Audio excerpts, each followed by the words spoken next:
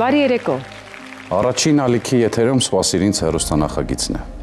Մեզ վաղուց չի զարմացնում, երբ լսում ենք, որ այս կամ այն կտավը, վեպը կամ սիմֆոնիան գրվել է 10-20 տարում։ Բայց այն, որ մարդուն գտնելը կարող է խլել ամիսներ, տարիներ, դեռ շատերին զարմացնում է։ Պարզ օրինակ, փոխիր ազգանունդ, բաց նոր օկտահաշիվ սոցկայքերից մեկում, հրապարակիր մեկ լուսանկար, գայլի կամ աղավնու եւ ստուգիր նամակներդ հազարից մեկ, տեսնենք քանի հոգի է քեզ գտնելու։ Մեզ դեռ թվում է, որ այսօր միմյանց կորցնելն անհնար է, բայց մոռանում ենք, որ դեռ ոչ ոք չի բացառել պատերազմները, բնական աղետները, մարդկանց բաժանող անհեթեթ դիպվածները։ Գլուխը կասկածամտորեն տարուբերելու փոխարեն դիտեք ուշադրի եւ եթե կարող եք օգնել գտնել որոնվողներից որևէ մեկին, կապվեք մեզ հետ։ Մենք սկսում ենք։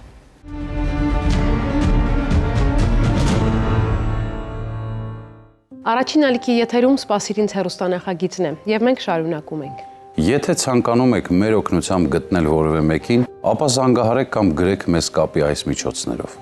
Այդպես է վարվել մեր հաջորդ պատմության հերոսը։ Ծանոթանանք։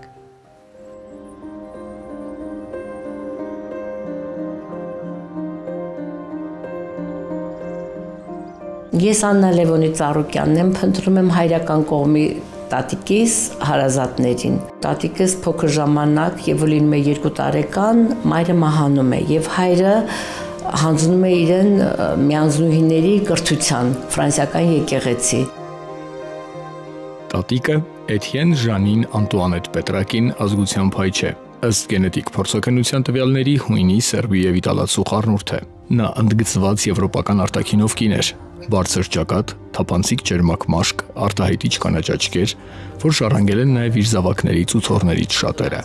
Իր հայրիկին ու մայրիկին նա չի հիշել։ Մեկական լուսանկար է ունեցել նրանցից, սակայն պատահմամբ լուսանկարները թողել է քննական տետրի մեջ, հանձնել ուսուցիչներին ու կորցրել ծնողներից մնացած վերջին մասունքները։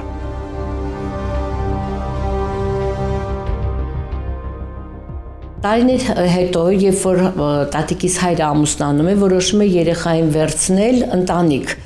դաստիարակության, բայց ողջում է, որ իրենք պայմանագիր են կնքել եկեղեցու հետ, որ մինչև 22 տարեկան իրավունք չունեն վերցնելու եկեղեցուց երեխային, եւ այսպես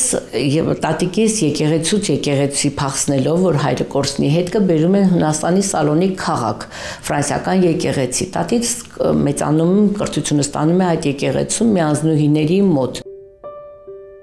Ժանին տատիկը պատմել է, Քանի դեռ միանձնուհիներն իրեն չէին տեղափոխել Հունաստան, հայրը գալիս էր Մենաստանի ճախավանդակից այն կողմ կանգնում, նայում էր իրեն։ Հետո թերևս կորցրել է դստեր հետքը։ Բազմաշնոր սանուհուն միանձնուհիներն ամեն կերպ հեռու են պահել հարազատներից, նրա մեջ տեսնելով ապագա հերանեկարային եկեղեցականի։ Նրա գերազանց ուսումն էլ այդ ճանապարհն անխոչնդոտ անցնելու հիմքն էր։ Բայց մեր այնպես է պատահում, որ կինոթատրոն գնալիս ընկերուհիների հետ տատիկս ծանոթանում է պապիկիս հետ եւ սիրահարվում են եւ բայց այդ ժամանակ տատիս հունարեն չի իմանում, որովհետեւ ինքը սովորելով, կրթվելով ֆրանսիական եկեղեցում, ինքը իմանում է միայն ֆրանսերեն, որովհետեւ այդ ժամանակ եկեղեցում ըստ կանոնակարգի իրավունք չունեին հունարեն խոսալու։ Այդ պատճառով էլ տատիս հունարեն չի իմանում, իսկ պապիս էլ չգիտեր ֆրանսերեն։ Պապին գիտեր հունարեն, թուրքերեն եւ հայերեն, շատ լավ հայերեն ներտերապետում որովհետև պապին մեծացել է հայկական ընտանիքում, հայ ազգությամբ եւ Թուրքիայի Քութախիա նահանգում է ծնվել Կոմիտասի հարևանությամբ եւ եւ պատմել երբ որ փոքր էր Կոմիտասի երբ որ երգում էր իրենց բակում լսվում էր Կոմիտասի ձայնը հիմա գնում են միազնուհիների մոտ որ ասեն ամուսնության առաջարկ անի պապիկս բայց ասում են ինչպես պետք է խոսեք Տատիս ասում է ես կսովորեցնեմ ֆրանսերեն, պապիս ես կսովորեցնեմ հունարեն։ Ֆրանսիական եկեղեցին հունական ավանդույթի համաձայն նորապսակներին ապահովել է կահավորված բնակարանով, որտեղ կար ամեն հարմարություն։ Այդ թվում շքեղ ժամացույց եւ սառնարան, որի գյուտի մասին այդ ժամանակ քչերը գիտեին։ Երբ որ տատիկի 22 տարին լրանում է, միանձնուհիներից տարիքով միանձնուհի մոտենում է տատիկից եւ ասում քո հայրը կենթանի է, նորից ամուսնացել եւ ունի երեխաներ։ Փնտրի քո հորը, բայց այդ ժամանակ արդեն պատերազմական իրավիճակ, խառը վիճակ երկրում եւ շատ վատ սով արդեն Հունաստանում, բայց նորից ֆրանսիական եկեղեցին տատիկիս ընտանիքին թիկունք է կանգնում եւ ամեն ինչով ապահովում։ Տատիկս ոչ մի բանի պակաս չի ունենում, ուտելիք, ամեն ինչ նույնիսկ օգնում հարևաններին։ Պատերազմի հետ սկսվել է նաև դեպի Հայաստան հայրենադարձության ալիքը։ Ժանինը պատմել է. Հունաստանում խոսում էին, որ խորհրդային Հայաստանում վիճակը լավ չէ, իսկ ինքը Հայաստան տեղափոխվելու հետ կապված մտավախություններ է ունեցել, քանի որ հայ չէ։ Նրան համոզելու համար ամուսինը մի օր տուն է եկել ճմրթած, պատրված հագուստով, պատմել է թե իրեն որպես օտարի ծեծել են փողոցում։ Ընտանիքը տեղափոխվել է Հայաստան։ Հունաստանում հայերը խնդրել են որևէ կերպ լուր հաղորդել խորհրդային Հայաստանի վիճակի մասին։ Պայմանավորվել են, որ Հայաստանում նրանք կգնան իրենց բարեկամուհու Աննայի Գերեզմանի մոտ, եւ եթե ամեն ինչ լավ է, կլուսանկարվեն կանգնած, եթե լավ չէ, նստած կամ պարկած նկարվում են պարկած գերեզմաններում, որ մյուս բարեկամները հաջորդ սերունդ այլևս չգա Հայաստան։ Եվ մի քույրը մնում է Հունաստանում, մի եղբայրը Ֆրանսիայում, հիմա սերունդներ ունեն, մենք կապ ունենք, շատ լավ մարդիկ են, շատ լավ հարազատներ են։ Կարով Հայաստան մերոնք շատ ծանր պայմաններում են ապրում, գնում են սկզբում հոկտեմբերյան, ջուրը միջև հիմա էլ գիտենք հոկտեմբերյանի լավը չի, այն ժամանակ արվի ջուր էին խմում, փորերը ուռած, նիհար Ընտանիքը որոշ ժամանակ ապրել է Հունաստանից բերած իրերը վաճառելով։ Վերջին վերնաշապիկի վաճառքը ճակատագրական է եղել տատիկս վաճառելով իր ձեռագործած վենաշապիկը որոշում է ընտանիքի համար հաց գնել, այդ պահին գալիս են գողանում ձեռքից փախսում են միամիտքիներ ինքը լեզու չիմացող հայրեն, այդ ժամանակ որոշում են տրամվայի տակ ընկնել հենց Սև շուկայի հարևանությամբ Հիմիկվա կինորասիա թատրոնի տարածքում Այդ պահին մեկ էլ ձեռքից բռնում է մեր բարեկամը Հակոբ Անասյանը, որ շատ շնորհակալ ենք իրենից։ Տալիս են տարածք, միասին ապրում են, ոդքի են կանգնում։ Ժանինն աշխատանքի է ընդունվել Կարի արեսանոցում։ Ցերեկով կատարել է պետության պատվերը, գիշերով մնացած կտորտանքից տնորինության թույլտվությամբ կարել է մանկական հագուստ։ Աշխատանքը հիացրել է բոլորին։ Որոշ ժամանակ անց այդ հակոստից օրինակներ են ուղարկել Ստալինին մի շքեղ ձեռագործ սփռոցի հետ, որի վրա ողկույզների հետ ճերմակ թելով ասեղնագործված էին Ստալինի ու Լենինի դեմքերը։ Սփռոցն ասում են մինչև հիմա էլ ցուցադրվում է Գորի քաղաքի թանգարանում։ Սա ճիշտ մարտավարություն էր։ Ստալինը նրանց թույլատրում է բացել մանկական հագուստի արեստանոց, որի արտադրանքը հետագայում մրցույթների առաջին հորիզոնականներում էր։ փնտրում եմ մեր հարազատներին։ Ես կցանկանայի տատիկիս երազանքը ի կատարածվեր, փնտրեի իր կողմից գուցե սերունդներ ունենան, որի համար ես գենետիկ անալիզ եմ տվել եւ կուզենայի գուցե իրանք էլ տային, փնտրեին գտնեն կապով 23andMe անալիզն եմ տվել տատիկի մոր անուն ազգանը չգիտենք, ինքն էլ չէր հիշում տատիկի ոչ անուն, ոչ ազգանուն, միայն գիտեմ, որ տատիկը Ժանին Անտուանետ Պետրակի ոնց որ հայրանունը Պետրակի կարծում եմ, որովհետև հետագայում թարգմանեցին այստեղ ամուսնանալու պապիկիս հետ դարձավ Ալթունյան, Ալթունյան, Ժանինը թարգմանեցին հայրեն Յոաննա, Յոաննա Պետրոսի։ Տատիս դարձավ Ալթունյան Յոաննա Պետրոսի։ Ալթունյանները փնտրել են տատիկի հարազատներին մտերիմների միջոցով, տարբեր պետական մարմիններ հարցումներ ուղարկելով։ Ապարձյուն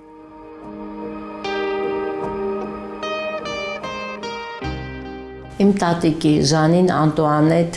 Էթիեն Պետրակի հարազատներ։ Եթե Էթիեն ազգանունը դες ինչ որ բան հիշեցնում է եւ լսել եք պատմություն իմ տատիկի մասին, ինչպես է որ փանոց գնացել, ինչպես գուցե հայրը փնտրել է իրեն, գուցե ունի սերունդներ, եղբայրներ կամ թորներ, խնդրում եմ արձագանքեք, ուրախ կլինենք, մենք ջերմորեն կընդունենք ձեզ կդառնաք մեր հարազատները։ Քանի որ այս պահին մենք ունենք աշխարհով մեկ հարազատներ բարեկամություն եւ Ֆրանսիայում, եւ Հունաստանում, եւ Ամերիկայում։ Դուք կլինեք մեր եւս մեկ բարեկամները, հարազատները։ Սիրով սպասում ենք Հայաստանում։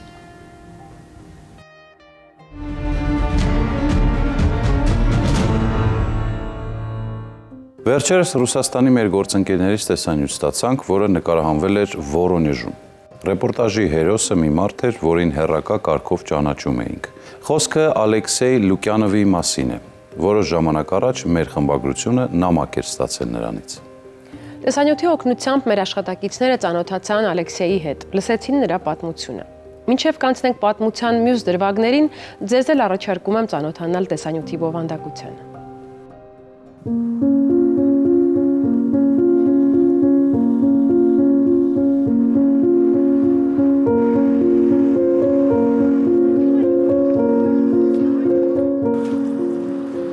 Меня зовут Алексей Лукьянов. Ես Ալեքսեյ Լուկյանովն եմ, ապրում եմ Վորոնեժում։ Աշխատում եմ համար 26 մարզադպրոցում որպես կարատեի մարզիչ։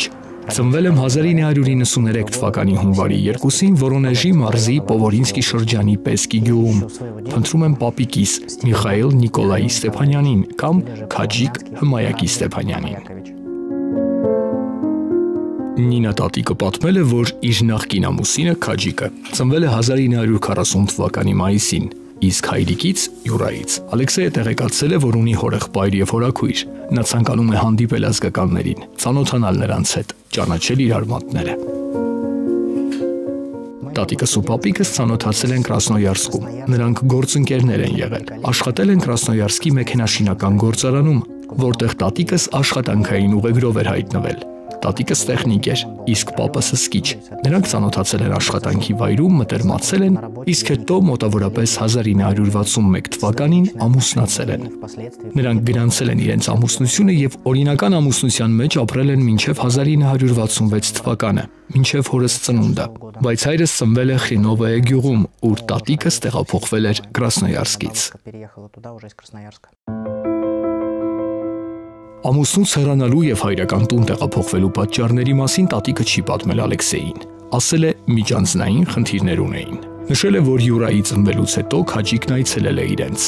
Հայրն էլ, հորաքույրն էլ ծանրոցներ են ուղարկել Ռուսաստան։ Յուրան պատմել է, որ այդ ծանրոցներում լինում էին առանձնահատուկ նվերներ, բաներ, որ այն ժամանակ դժվար էր գտնել խանութներում։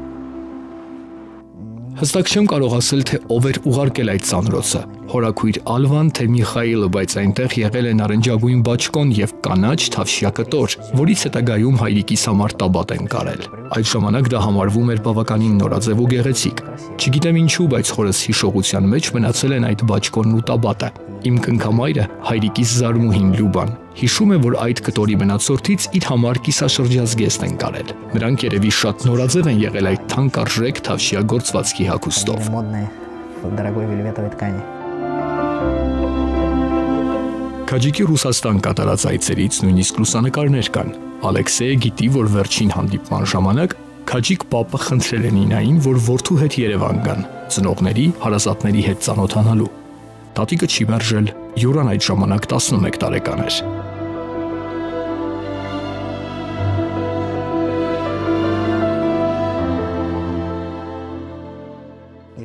Հորս դիմավորել են նրա հարազատները։ Հայրս սանոթացել է իր պապիկի, Միխայելի հոր եւ նրա քրոջ Ալվանի հետ։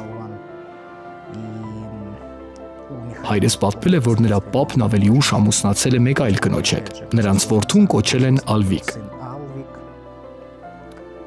Հայրս ծանոթացել է նրա հետ, միասին զբոսնել են, եղել են Սևանա լճում, շրջել են ինչ-որ բերթով, տեսել են Դավթի արձանը, գնացել են Լոավազան, նրբերշիկ են գերել։ Որքան հասկացա դա այն ժամանակ յուրահատուկ մի բան էր։ Երևի դրա համար էլ այդ դրվագը մնացել է հորս հիշողություններում։ Երևանից Վորոնեժ վերադարձել են ինքնաթիռով, ինչը նույնպես հիշարժան իրադարձություն էր հորս համար։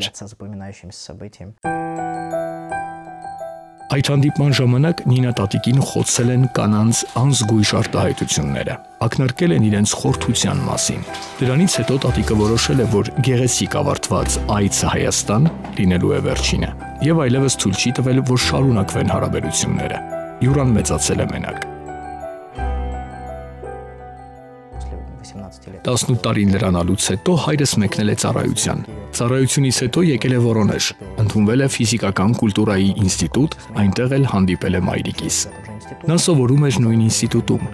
Մայրս Լուկյանովա Վալենտինա Վիկտորովնան է։ Նրանք համակուրսեցիներ էին։ Միասին էին սովորում եւ ինստիտուտի 3-րդ կուրսում ամուսնացել են։ Ես ծնվել եմ Վորոնեժի մարզի Պովորինսկի շրջանի Պեսկի գյուղում։ Մինչև 17 տարեկան այնտեղ եմ սովորել, մարզվել։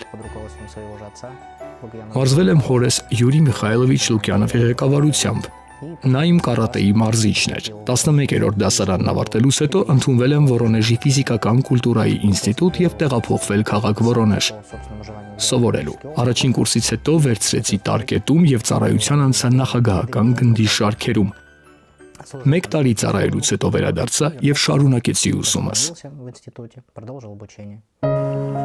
Ալեքսեյը վերջերս է որոշել փնտրել ազգականներին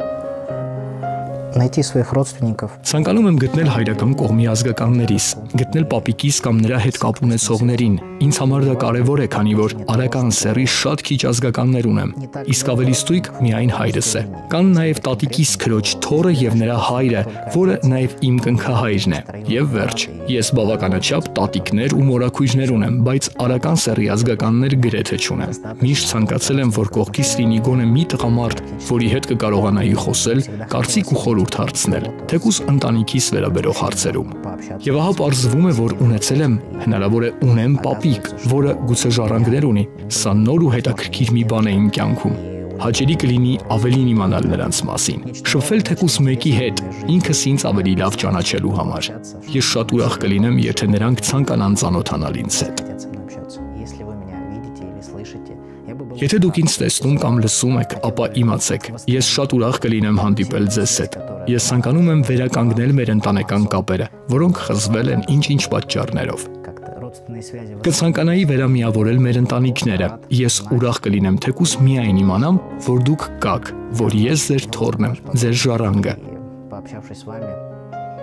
Ես ուզում եմ պատմել իմ մասին ու իմանալ ձեր մասին։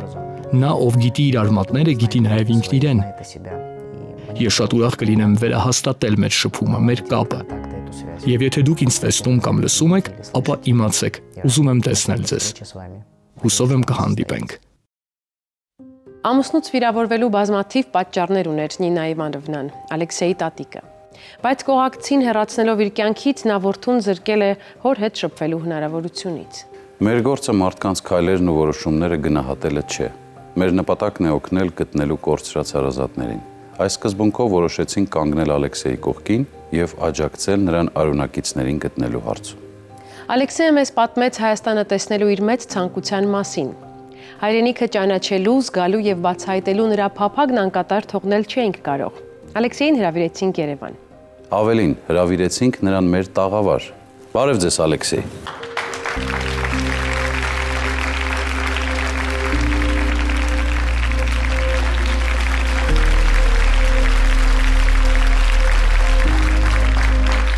Ո՞նց եկաք, լավ հասակ, ինչպես տեղավորվեցիք։ Լավ տեղ հասա, բայց ճանապարհը երկար էր։ Նախ պետք է Վորոնեժից Մոսկվա հասնեի, քանի որ հիմա ուղիղ չվերթներ չկան, իսկ հետո Մոսկվայից Երևան։ Տեղ հասա, դիմավորեցին ադմինիստրատորները, տեղավորվեցի, այնպես որ ամեն ինչ շատ լավ է։ Հավանեցիք մեր մայրաքաղաքը։ Հասցրել եք ինչ-որ բաներ տեսնել։ Երեք երեկոյան հաջողվեց մի փոքր զբոսնել հանրապետության հրապարակով, շատ գեղեցիկ մոնումենտալ շենքեր տեսա եւ շատ հաճելի տպավորություններ ստացա այդ ամենից։ Առայժմ բացի հանրապետության հրապարակից շատ քիչ բան եմ տեսել, բայց կարծում եմ, որ դեռ ժամանակ կլինի տեսարժան վայրերին ծանոթանալու համար։ Դուք բավականին շատ բան գիտեք ձեր հայ լինելու մասին, ձեր հայրիկը ձեզ իր հուշերից բավականին շատ բաներ է պատմել։ Ասացիք, որ տեսել ես Ասունցի Դավթի արձանը, եղել ես Սևանում, այլ տեսարժան վայրերում։ Գուցե հիմա կցանկանաք կրկնել հենց նրա երթուղին եւ գնալ նույն վայրերով։ Այո, իհարկե, հետաքրքիր կլինի տեսնել Հայաստանի նշանակալի վայրերը եւ միգուցե ինչպես մասնագիտության ընտրության, այնպես էլ երթուղու ընտրության հարցում կգնամ հորս հետքերով։ Դա ված չէր լինի, բայց իմ այցելության գլխավոր նպատակը մարդիկ են։ Կցանկանայի ավելի շատ մարդկանց հանդիպել, իսկ տեսարժան վայրերն ու զբոսաշրջությունը երկրորդ-երրորդ տեղում են։ Ալեքսեյ, ինչ է քեզ համար այդքան կարևոր գտնել քո հարազատներին։ Ստացվեց այնպես, որ ես սկսեցի հետաքրքրվել իմ ամբողջ ընտանիքով, մտածեցի ստեղծել ընտանիքիս տոհմածառը։ Երբ սկսեցի հարց ու փորձ անել տատիկիս, նրա հարազատների, ծնողների, այդ թվում ամուսնու, այսինքն պապիկիս մասին նոր եւ հետաքրքիր մանրամասներ բացահայտեցի։ Շատ բաների մասին ոչ ես, ոչ նույնիսկ ընտանիքիս անդամները չգիտեին։ Տատիկս անկեղծացավ այդ թեմայով, բայց ամենակարևոր շարժարիթը դարձավ տատիկիս երազը։ Պատմեց, որ երազում նախկին ամուսնուն Միխայելին է տեսել։ եւ ինձ պատմեց այս պատմությունը։ Ես էլ որոշեցի ինչ որ կերպ նպաստել ընտանիքի վերամիավորմանը եւ հայտ ներկայացրեցի։ Ստացվեց այնպես, որ հաղորդման խմբագիրներն ինձ հրավիրեցին այստեղ եւ ահա ես ձեր տաղավարում եմ։ Ես գնացի այս քայլին տարբեր հանգամանքների բերումով, բայց այս ամենն իհարկե չէր լինի, եթե տատիկս չպատմեր իր պատմությունը, չասեր թե իրականում ինչ ու ինչպես է եղել իր ընտանիքում։ Շատ լավ, կասեք ինչպես արձագանքեցին ձեր հայրը եւ ձեր տատիկը ձեր այս քայլին Երևան գալու։ Ես որոնումները սկսեցի առանց նրանց հետ համաձայնեցնելու։ Պարզապես դիմեցի։ Անկեղծ ասած, չէի սպասում, որ այդ ամենից ինչ որ բան դուրս կգա։ Կարծում էի, որ մեր ընտանիքի պատմությունը շտկելուն ուղված փոքրիկ քայլ էր հաղորդմանը դիմելը։ Սակայն երբ ինձ հրավիրեցին ու ես սկսեցի շփվել խմբագրի հետ, ամեն ինչ պատմեցի հորս ու տատիկիս։ Նրանք ուրախ էին։ Ամեն մեկն իր կարծիքն ունի այս իրավիճակի մասին, բայց հայրս ասաց, որ ես իրավունք ունեմ ճանաչելու իմ ազգականներին։ Հայրս ինձ պատմեց այն ամենն, ինչ գիտեր։ Մինչև ամենաչնչին մանրուքները։ Ես էլ փորձեցի ձեզ փոխանցել այն ամենն, ինչ իմացա։ Այսինքն նրանք դեմ չեն սկզբունքորեն, որ դուք փնտրում եք ձեր հայկական արմատները։ Ոչ իհարկե, միթե վատ է, երբ ընտանիքի անդամները վերամիավորվում են եւ կապ պահում իրար հետ։ Ի վերջո, որքան լավ գիտես քո արմատներն, այնքան ավելի լավ կհասկանաս, թե ով ես դու։ Դա տալիս է ինքնաճանաչում եւ իմացություն, թե ով ես դու իրականում։ Որպես որոնումների մեկնարկ դուք մեզ ուղարկել եք մի լուսանկար, որն արդեն ցուցադրվել է մեր թողարկումներից մեկում եւ հիմա պետք է խնդրեմ, որ եւս մեկ անգամ հնարավորություն տան այդ լուսանկարը տեսնելու։ Դուք էլ կմեկնաբանեք, թե ով է պատկերված այնտեղ։ Որքան գիտեմ, սա իմ պապիկն է։ Այդ մասին ինձ ասել են տատիկս ու հայրս։ Սա Միխայել Նիկոլաևիչն է։ Այս լուսանկարն արվել է Երևանում։ Այն մի փոքր պատրված է։ Պատրված հատվածում հայրս է պատկերված։ Սա նույնպես հարազատներիս ասելով գիտեմ։ Այս լուսանկարն արվել է հենց այն ժամանակ, երբ տատիկս ու հայրս եկել են ծանոթանալու Միխայելի հարազատների հետ։ Մենք եթերում ցույց ենք տվել այս նկարը հավատալով, որ արձագանք կստանանք։ Մեր հերոստատիտողներից մեկը այս լուսանկարով ճանաչել է այն մարդուն, ով պատկերված է նկարում եւ ուղարկել է մեզ լուսանկարի ամբողջական տարբերակը։ Այո, ես այդ լուսանկարից ունեմ։ Այդ նույն լուսանկարն է։ Ձեր հայրն է եւ ձեր պապիկը։ Այո, իմ հայրն է եւ նրա հայրը, իմ պապը։ Ինչ եք կարծում, որտեղից է եկել ձեր հայտի պատասխանը։ Ով է արձագանքել։ Որքան գիտեմ, Միխայելը Երևանում չի բնակվել։ Այստեղ ապրել է նրա քույրը Ալվանը։ Իսկ թե որ քաղաքում է ապրել պապս, ասել չեմ կարող, քանի որ ոչ տատիկս, ոչ հայրս չեն հիշում նրա բնակության վայրի անունը։ Իսկ գուշակությամբ զբաղվել ամենախոստումնալից զբաղմունքը չէ։ Հնարավոր է նաև, որ հենց Երևանից լինի, հստակ չեմ կարող ասել։ Բնական է, որ Հայաստանի աշխարհագրությունը ամենայն մանրամասնությամբ իմանալ չեք կարող, եթե հատուկ ջանքեր չեք գործադրել այդ ուղությամբ, բայց մենք հիմա ձեզ հետ կփորձենք մի քանի հայաստանյան տեղանուն սովորել։ Հայաստանի մարզերից մեկը կոչվում է Կոտայք։ Կոտայքի մարզում է գտնվում Հրազդան գետը։ Իսկ Հրազդան գետի ափին գտնվող գեղեցիկ գյուղերից մեկը Պտղնին է։ Հեշտացնենք ձեր խնդիրը, միայն Պտղնի բառը կխնդրեմ, որ կրկնեք։ Պտղնի։ Պտղնի։ Ճիշտ է։ Եթե այդքան հեշտ է ստացվում, եկեք սովորենք նաև կոտայքը եւ հրազդանը։ Երազդան։ Հրազդան։ Հրազդան։ Կոտայք։ Կոտայք։ Հրաշալի է։ Գրաում եք թե ինչու է պետք հիշել այդ բառերը։ Դե երևի թե այնտեղից են իմ ազգականները։ Հենց այնտեղ են բնակվում ձեր ազգականները, որոնք էլ արձագանքել են տեսնելով կիսատ լուսանկարը եւ մեզ ուղարկելով այս ամբողջական տարբերակը։ Հիմա մենք հակառակ խաղն ենք խաղում, այսպես ասած։ Ձեր ազգականները տեսել են ռեպորտաժը, որտեղ դուք պատմում եք ձեր որոնումների մասին, տեսել են լուսանկարը, հետո մեզ ուղարկել են լուսանկարի այս տարբերակը։ Հիմա ձեզ հետ պիտի նայենք այն տեսանյութը, որտեղ դուք կտեսնեք ձեր ազգականներին։ Խնդրեմ։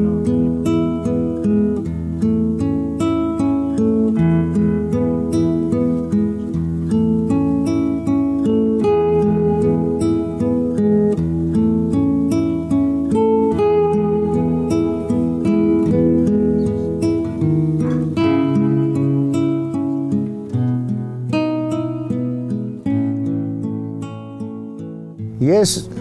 Համայակ Հաջիկի Ստեփանյանս տեղյակ եմ, որ ունեմ եղբայր Ռուսաստանում ու իմացել եմ, որ ինքը ապրում է Վորոնեժում։ Իմ հայրը ծանոթացել է Նինա անունով մի կնոջ հետ Նովոսիբիրսկում ծառայության ընթացքում։ Ու իրար հետ կապ են ունեցել։ Դրանից հետո ես տեղյակ եմ, որ ասենք ինքը նամակագրական կապ ունեցել իր որդու հետ, Յուրայի հետ։ Յուրան գնացել եկել աստեղ։ Եկեղեցի Բաքում ինքը խաղացել է։ Հմայակը պատմում է. Այս այգում, ուր զրուցում ենք իր հետ, մոտավորապես 3-4 տասնամյակ առաջ վրան կար, ուր եւ մնում էր հայրը Յուրայի հետ։ Հիշում է, որ ինքն էլ խաղում էր Յուրայի հետ։ Թեպետ փոքր էր ու ռուսերեն վատ գիտեր, իրար գրեթե չէին հասկանում։ Քաջի կանոնը ինձ թվում է երևի դժվարությամբ արտասանվող ռուսերեն, ինքը ներկայացել է Միխայել, դրա համար տենց իրեն Միխայել գիտեն։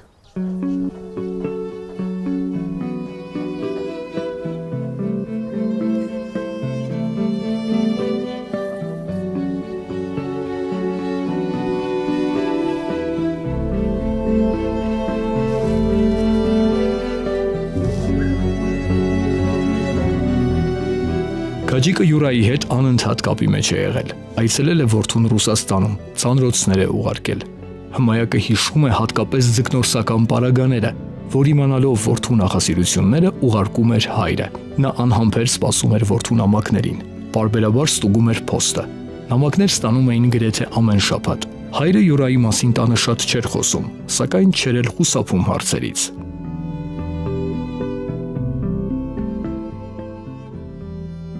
Ես միշտ հետաքրքրվել եմ Յուրայով։ Ես կուզեի Յուրան եւ Ալեքսեյը իմանան իրանք ովքեր են։ Որտեւ Յուրայի եւ Ալեքսեյի պապերն են հիմնադրել այս գյուղը։ Ու ես ասենք գիտեմ բոլոր պատմությունները, իրանք եթե այցելեն մեզ մոտ, շատ տեղեկություններ կիմանան այս գյուղից, իրանց հայրիկից, իրանց պապերից։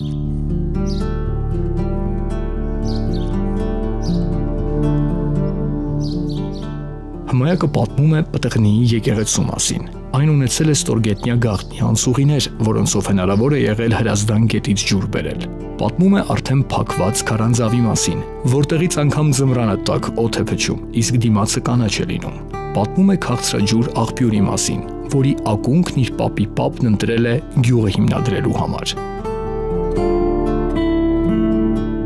Այս գյուղը հիմնադրել է Գալուստը, Պարսկական պատերազմից հետո Գալուստը հրավիրել է տարբեր մարդկանց, Գալուստից հետո եղել է Սահակը, Սահակից հետո եղել է Ստեփանը, Ստեփանից հետո եղել է Համայակը, Համայակից հետո եղել է Քաջիկը, Քաջիկից հետո Սերունդից հետո եղել եմ ես, Յուրան, մեր փոքր եղբայրը Սարգիսը եւ մեր երեխաները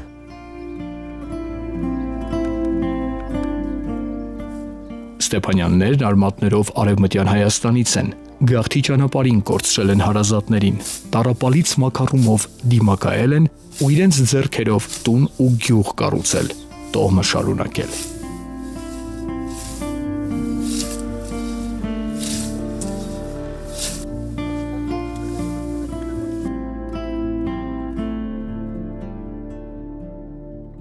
Ես կուզեմ, որ յուրանել գա, մեր սերունդը ստեղ մենք շարունակենք, երկու եղբայր ենք, ինքն էլ մեր հետ երեքը կլինի, ու մեր երեխաների հետ, ես էլ ունեմ երեխաներ, ունեմ երկու աղջիկ, մեկ տղա,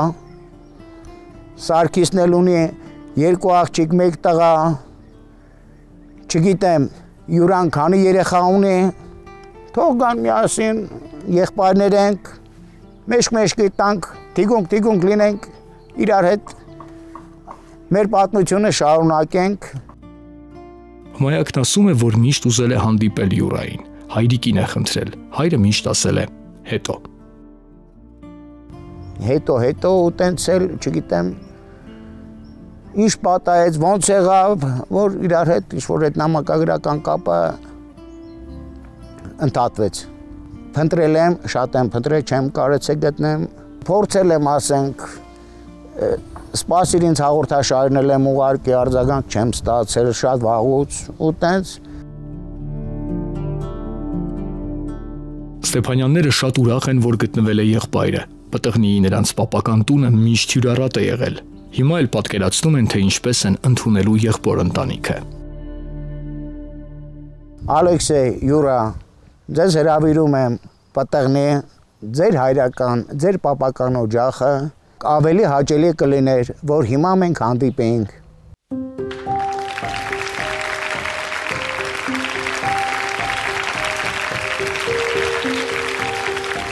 Դուք տեսնում եք, որ ձեր բարեկամները ջանք ու երանտ չեն խնայել նաև ձեզ գտնելու համար։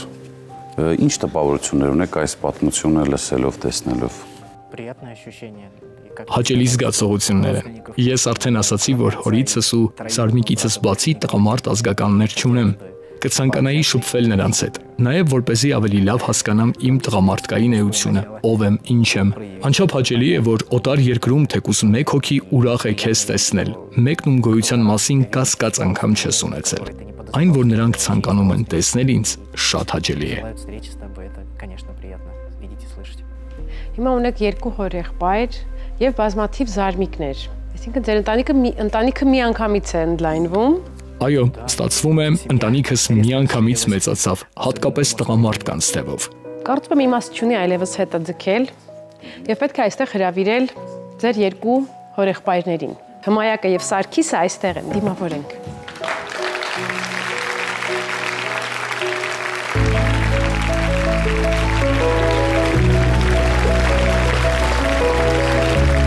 Բարև ձեզ։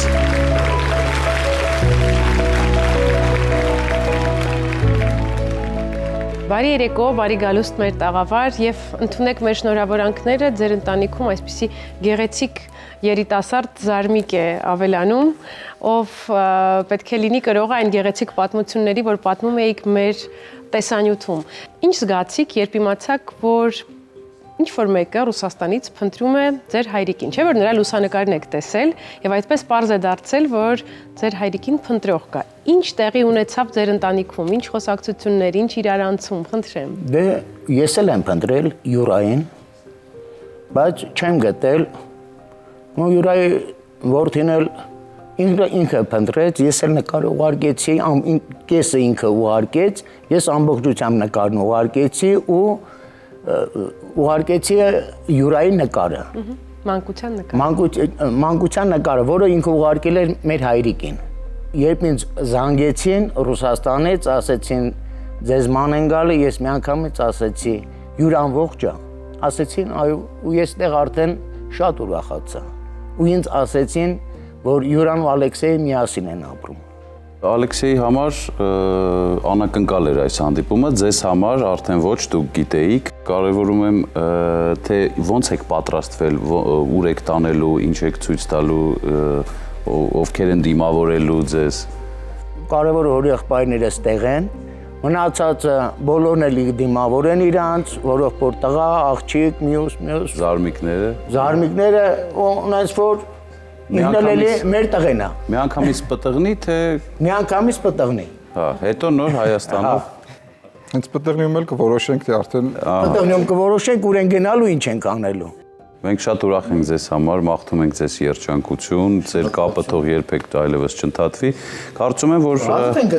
Կարծում կարծում ենք նաև հերախոսազանգով նաև ձեր եղբոր հետ կկապնվեք, կզրուցեք։ Ալեքսեյ, ինչ տպավորություններ ունեք, հիմա ինչ զգացողություններ ունեք։ Դուք սկսել եք այս որոնումները եւ եկել հասել եք այս վերջնական ամենաերջանիկ կետին։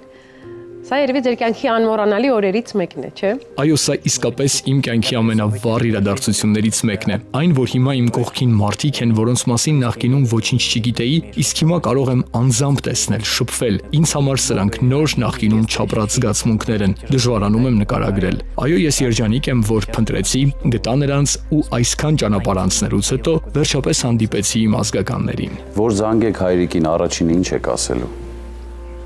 Ինչպես կարձագանքի, երբ իմանա, որ գտնվել են իր եղբայրները։ Ну, я не могу отвечать за реакцию. Ես չեմ կարող կանխատեսել հորս արձագանքը։ Վստահ եմ նա կուրախանա, որ այս ճանապարհորդությունը սապարժուն չի անցել։ Միայն հորս հետ խոսելուց հետո կկարողանամ նկարագրել նրա ապրումները։ Դժվարանում եմ ենթադրություններ անել, քանի որ 40 տարուց ավելի նրանք չեն հանդիպել, չեն շփվել, ու թե ինչպիսին կլինի նրա արձագանքը դժվար է ասել։ Очень тяжело.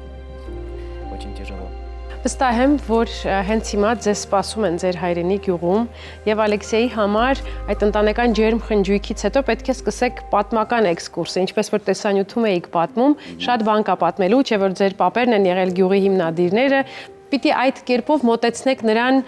ձեր ընտանեկան արմատներին եւ ազգային արմատներին, չէ որ հա- իր հայությունից ինքը Դե քիչ ինքը որոնել է պատկերացում ունի։ պապիկին, բայց ես կծանոթացնեմ պապի պապիկների պատմություններին։ Պետք է մի փոքր հայ դարձնեք նրան։ Բայց պետք է։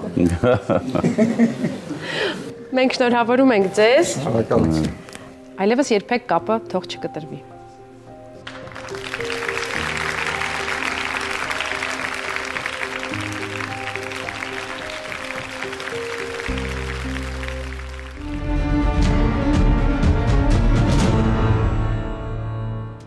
Մեր կազմակերպած հանդիպումները նման են հեքիաթի վերջաբանի, որտեղ պատմությունը ոչ թե ավարտվում է, այլ նոր-նոր է սկսվում։ Կգնահատեն այն, ինչ գտան, կկարողանան պահել, ցույց կտա ժամանակը։ Խնդրեք իրար, ինչ էլ որ լինի։ Ու սպասեք անկախ ամեն ինչից։